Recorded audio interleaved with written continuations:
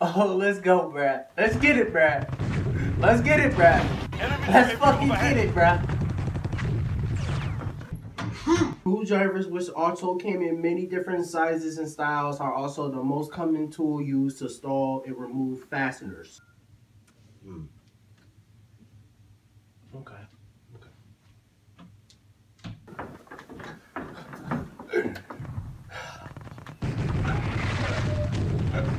Got your ass. Oh. Oh. Oh. Mm-hmm. You found out you in here playing this fucking game, bruh. Whooping your ass. You're not supposed to be playing this fucking game on school days. Oh, that was a close one. This shit.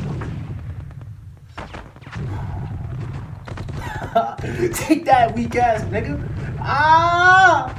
Ah! Uh huh. Yeah. Oh shit. Uh huh.